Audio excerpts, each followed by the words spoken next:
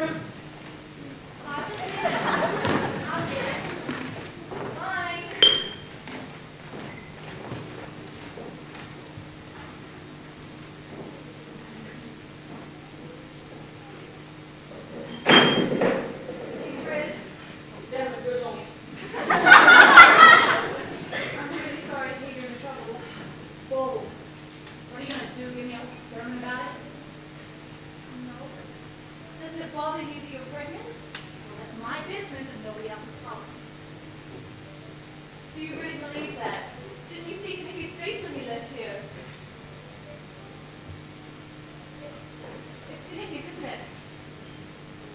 Well, I guess we've said too much already. Good luck, Rizzo. Just a minute, Miss Goody Goody. Just who do you think you are? All this sympathy crap.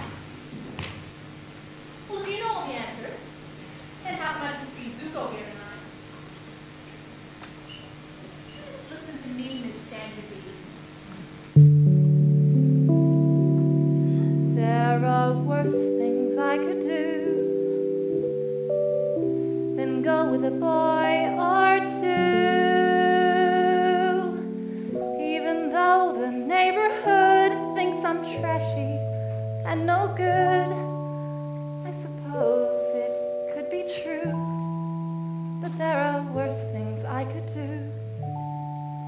I could. Flirt with.